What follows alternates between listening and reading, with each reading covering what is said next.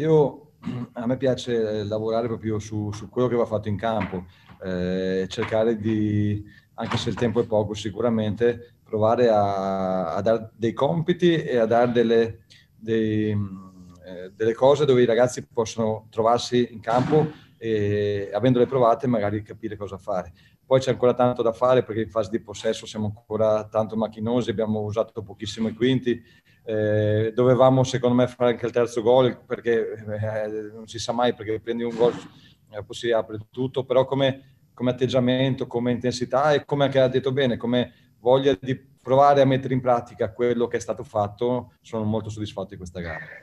Sì, eh, è vero, è stata una partita da, da squadra, eh, anche se poi bisogna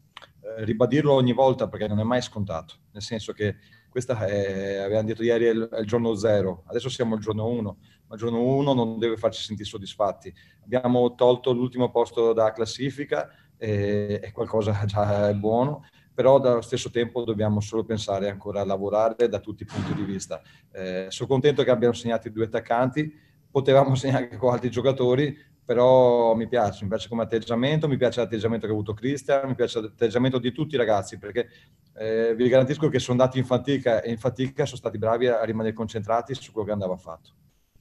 Poi c'è stata tanta sofferenza, siamo partiti per andare a prenderli alti e se, sì. i primi dieci minuti secondo me è stato un bel segnale. Logico che poi per prendere una certa maniera devi, devi andare a limare gli automatismi e, e, e ancora c'è da lavorare perché dopo un quarto d'ora secondo me qualcuno era già che un pochino boccheggiava, però questo eh, credo sia normale dopo, dopo qualche giorno di allenamento, soprattutto quando, e continuo a ribadirlo, io non vado a giudicare chi, chi ha lavorato prima di me, quando gli chiedi corse diverse, eh, certe corse hanno bisogno di un lavoro diverso, senza, e quindi insomma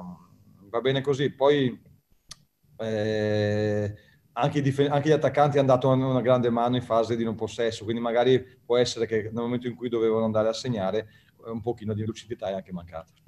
Prima che mi dimentichi, dovrei fare due dediche però eh, per questa prima gara. Una per Ernesto, per il medico che io ho conosciuto da avversario, però so a quante persone, eh, quante persone sono legate a lui, sia a livello di, di, proprio di di società, di squadra, di ragazzi e sia a livello anche di, di città. E un'altra dedica dedico a mia figlia che oggi fa 16 anni e come oh. papà penso sia assente e quindi ogni tanto bisogna almeno queste piccole cose ricordarsi.